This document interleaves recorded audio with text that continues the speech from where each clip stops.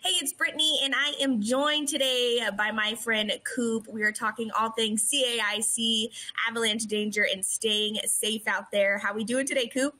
I'm doing great. It's awesome to be with you. Yeah, love having you and having your company. And so let's go ahead and jump straight into all things avalanche. What do you got for me today?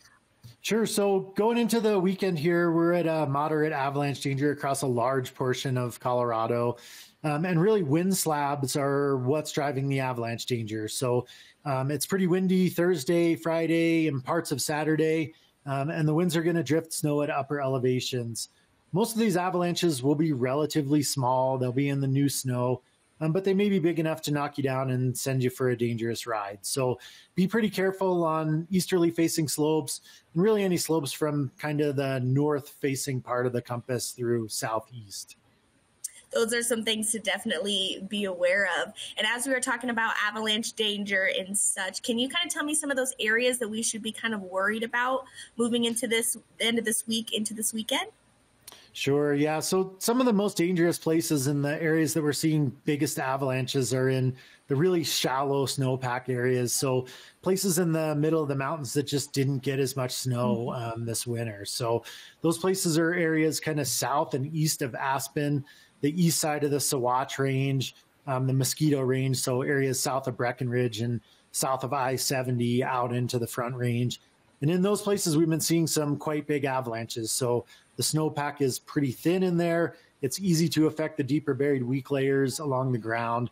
So be especially careful on westerly facing slopes that have been stripped by the wind. So again, they're more shallow. The weak layers are closer to the surface. Um, and then in in all those areas, if you find less than about two feet of snow, be especially careful. And Coop, I wanted to ask this question to you. When we talk about snowpack, can you go into a little bit of a detail of what that may look like when you describe a snowpack?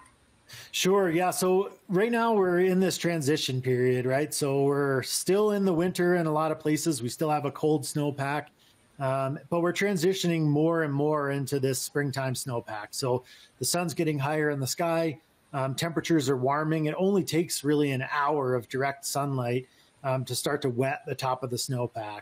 So the snowpack's really split um, across the state. So the western areas um, that get the snow uh, much earlier, right? They're the first mountains that see the snow are much deeper. The snowpack is much more stable. The more central areas um, that don't don't see quite as much snow, right? It's blocked by the mountains on both sides. Mm-hmm. Have a more shallow snowpack. Shallow snowpacks are weaker snowpacks, um, and that's really what causes problems.